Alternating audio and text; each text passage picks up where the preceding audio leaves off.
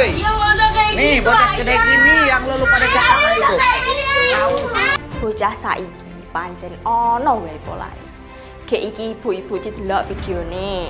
Ana bapak-bapak sing misoi anake perkara anake dolanan RP.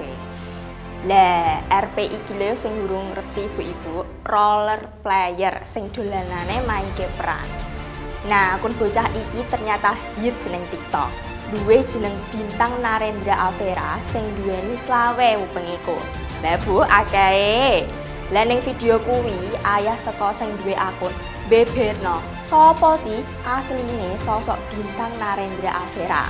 Lah sing marai kaget iki, jebule sosok iku anak cilik sing ijeh linggih ning bangku SD.